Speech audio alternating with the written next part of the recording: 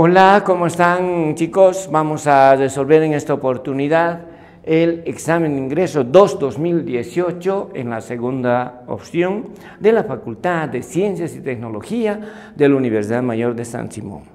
Les agradezco porque ustedes siempre están aprendiendo química por medio de nuestros videos. Tenemos entonces la pregunta Q13.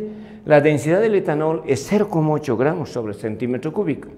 ¿Qué volumen de etanol en centímetros cúbicos tendrá la misma masa que 150 centímetros cúbicos de agua a 4 grados centígrados.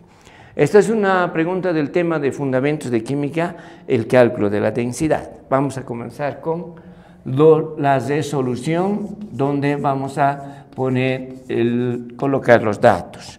Tenemos entonces acá un vaso de precipitados que contiene etanol. Eh, queremos saber su, su volumen, nos dan la densidad del etanol de 0,8 gramos sobre centímetro cúbico.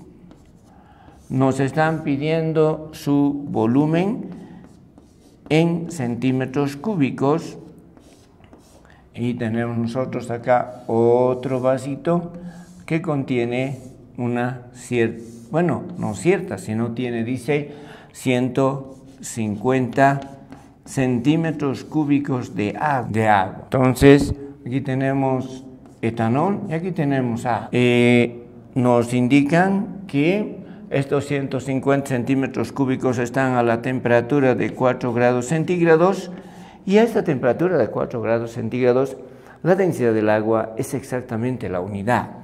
Entonces colocamos acá de 2 un gramo sobre centímetro cúbico. También tenemos una condición este problema que dice que ambos tienen la misma masa. Entonces la masa de etanol será M y la masa de agua también es M. Vamos a empezar colocando los, las expresiones de la densidad para cada uno de ellos. M1, eh, B1, eh, podemos emplazar acá 0,8, eh, la masa es M y nuestra incógnita es B1. Esta es nuestra incógnita. En este lado de la, para el agua, la densidad del agua es a la masa del agua sobre el volumen del agua. La densidad es 1, la masa es M y el volumen es de 150. Eh, lo que nos indica que la masa de agua había sido igual a 150 gramos.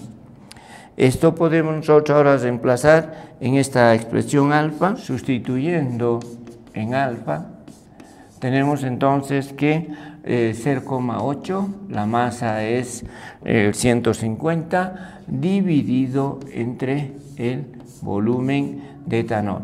Despejando el volumen de etanol será entonces 150 entre 0,8. Tenemos acá entonces la división de 100. Recorremos la coma un espacio para realizar la división entre 8. Entonces tenemos acá a 1. Eh, será, bajamos el, colocamos el 7, bajamos el 0. 8 por 8, 64, que será 6 eh, será a 7, 7 por 8, 56, 4, un 0 y aquí colocamos decimales, 5 por 8, 40 y la respuesta de esta pregunta es de 187,5 centímetros cúbicos. Miramos la letra que vamos a, marcar, en este caso tenemos que va a ser la opción C. Marcamos entonces en la hoja de las respuestas el inciso C. Gracias.